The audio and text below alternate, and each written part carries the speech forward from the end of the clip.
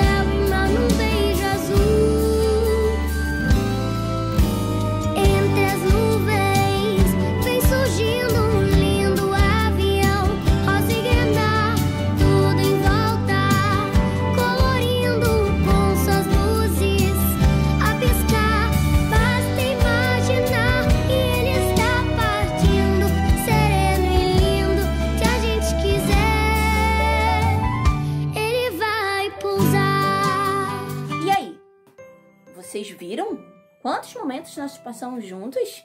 Quantas coisas aprendemos? A tia Andréia amou rever tudo aquilo. Aliás, tudo aquilo vai ficar guardado dentro da minha caixinha, dentro da minha memória. Porque foi um ano desafiador para a tia Andréia, para vocês e para a família de vocês. Mas a gente venceu. Chegamos ao fim. E a tia Andréia quer dar o parabéns para toda essa turma. Essa turma que escalou uma montanha muito alta para chegar ao topo, olhar para baixo e dizer: Vencemos! A gente não desistiu! Chegamos ao final! Para vocês, a tia Andréia deseja um feliz Natal. Para essa família linda, a tia Andréia deixa o meu muito obrigada. Para cada aluno, um abraço apertado. O coronavírus, ele ainda está aí. Vocês já aprenderam como devemos se comportar com ele. Diante a tudo que ouvimos e vemos, a gente precisa fazer o que é necessário.